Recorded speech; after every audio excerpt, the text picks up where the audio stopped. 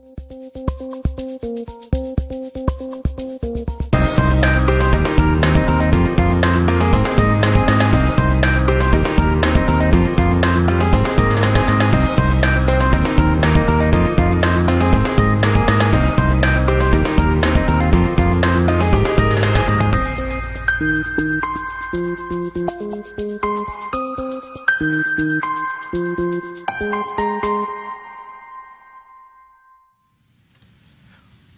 Welcome to DTLT today. I'm Tim Owens, and I am all by myself today.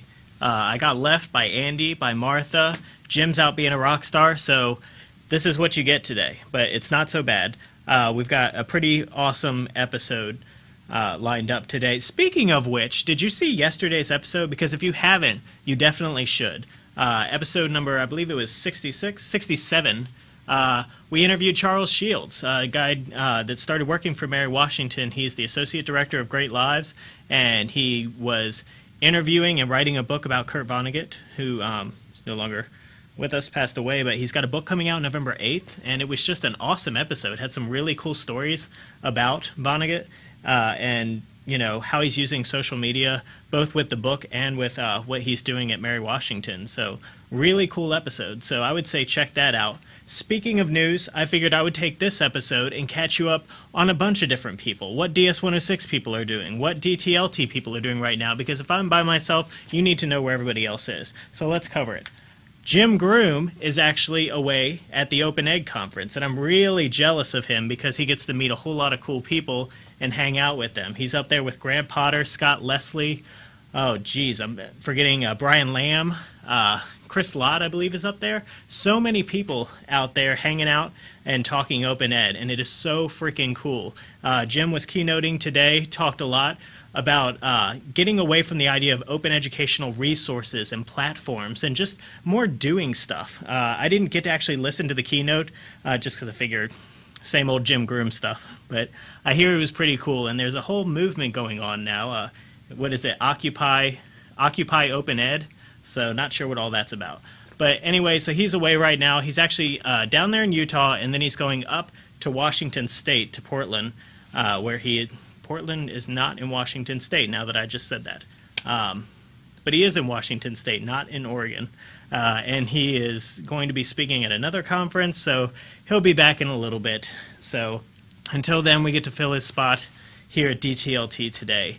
Uh, another interesting piece of news Alan Levine dropped his iPhone and it is dead. And he's using an Android device now. What the hell is up with that? So I questioned him about this on Twitter because I couldn't believe for a second that another die-hard Apple fan like the Cogdog would go to an Android device. And it turns out that it's just temporary. So no worries about that. He's coming back to the fold.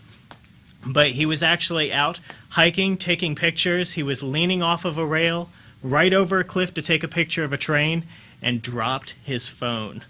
Went right down into the cliff. He tried to catch it, tried to go down there and find it, and just couldn't. So it was dead, gone. Couldn't find it at all. So he's using a temporary device, an Android phone, which I'd totally feel for him because I used to be on that before I got my iPhone 4S. But this isn't about me. This is about Cogdog. So, you know what? Uh, Anyway, he said he's waiting until he can get an unlocked iPhone 4S because he does a whole lot of international travel, which makes complete sense. So that's what he's up to. Another thing I want to point you to is an awesome blog post that just came out, and this is breaking news because it was within the last like 15, 20 minutes. Noise Professor, who, if you can't tell, is the one on the right over there, not the left. Uh, he actually just put out a blog post that was really, really awesome, talking about not being afraid of you know, being able to prove yourself with an idea that you have before you actually do it. So there's this uh, suspension of disbelief that you almost have to have in higher education. And the thinking behind it is that, uh, you know, you've got this really great idea. It's something that you know is going to work pretty awesome. You're, you're not sure if it's going to be 100%, but you think it could be really cool. Get out there and do it. And don't let administration take you down a notch and say, you know what, uh, this isn't proven, so we can't do it. So just get out there and start doing cool stuff.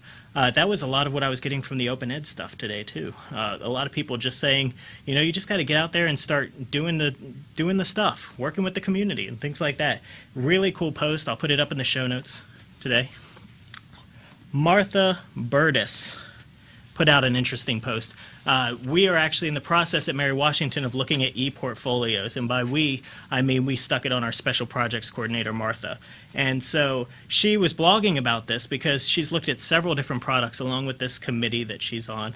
And the end result of it is basically that they can't find anything that works well with systems that we already have and what, what really is an e-portfolio system to begin with. So she put out the call saying, can't we do this in WordPress? Couldn't you have an e-portfolio system where students are logging into the same system that they're using for blogging, the same system that the faculty and staff here are using for their content management system? Can't we go all in with WordPress and use it for everything? And I think it's a noble goal. But we need a little help because that's actually something that we'd have to like pretty much build from the ground up. Uh, so there's a lot of ideas in there, and what I'm not so clear on, and what I don't think she is either, is how assessment ties in with ePortfolio. So we've got the whole WordPress piece of it down in terms of how do you get student work up and online. That's not an issue at all, right? But how do you assess it? And that seems to be, you know, the assessment side of things at the campus is a whole nother side, you know, and uh, I know that uh, Martha may not want to even get into all that, but she's got a great blog post. I'll put it in the show notes, and you can take a look at that.